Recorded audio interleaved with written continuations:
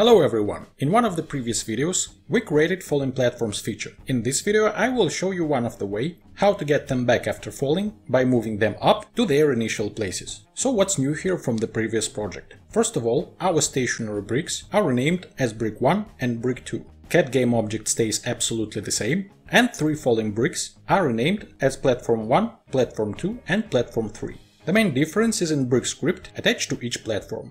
Let's check it out.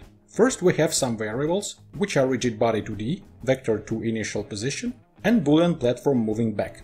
In start method, we get rigid body 2D component and mark platform's initial position to move platform back to it after falling. Update method.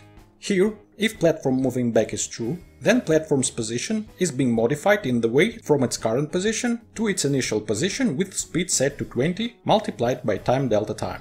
And if platform's current y position equals to its initial y position, then platform moving back is set to false and platform stops moving. On collision enter 2D method is invoked when cat collides with the platform. And if it does, and platform is not moving at the moment, then drop platform method is invoked in half of a second. In this method, we set rigid body type as dynamic, and platform starts to fall. After 1 second of falling, get platform back method is invoked. In this method, we set platform's velocity to 0 first, so it stops falling. Then we set rigid body type back to kinematic and set platform moving back variable to true to trigger this block of code in update method on, so platform starts moving up. When platform reaches its initial position, it stops.